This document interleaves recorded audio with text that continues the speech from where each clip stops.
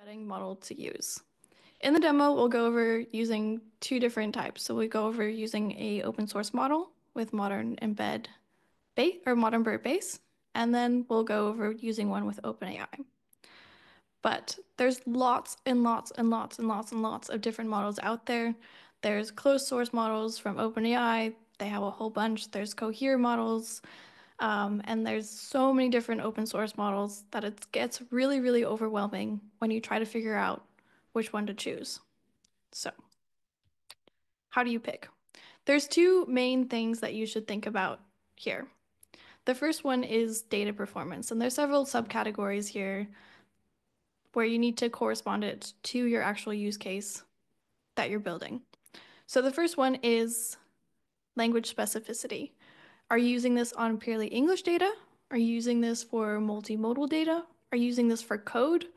Do you need a really large context window? That all falls under language specificity. The second one is domain specificity. Are you using this on sort of general data? Or do you have a specific domain like medical, legal, e-commerce, um, where you need specific performance tailored towards that? Third one is does it actually work? Um, so certain use cases will require a higher amount of accuracy than other use cases. Or maybe you care more about um, accuracy on certain things than others. Um, so you need to figure out how it works in general um, and also how it works in your own data. So that's where benchmarking and comparison comes in. The second side of things is infrastructure. So as much as we would like it to be, building machine learning applications is not free. Um, and so this is where you need to think about inference costs. So what is it going to cost to store and interact with your model? Um, bigger models will cost more here.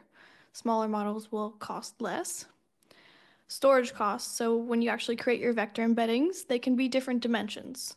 Um, and when you're storing those vector embeddings, larger amounts of or larger dimensions will cost more for storage.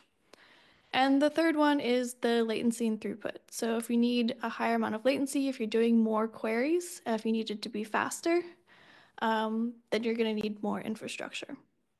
So those are the kind of two sides of what you need to consider when you're choosing an embedding model. The MTEB leaderboard is a great place to sort of explore open source options and also explore all the different sort of tuning modules you can use and look at when you're choosing a model. So um, I actually just went on this site today and it looks a lot different than what it did when I made this presentation a couple days ago. So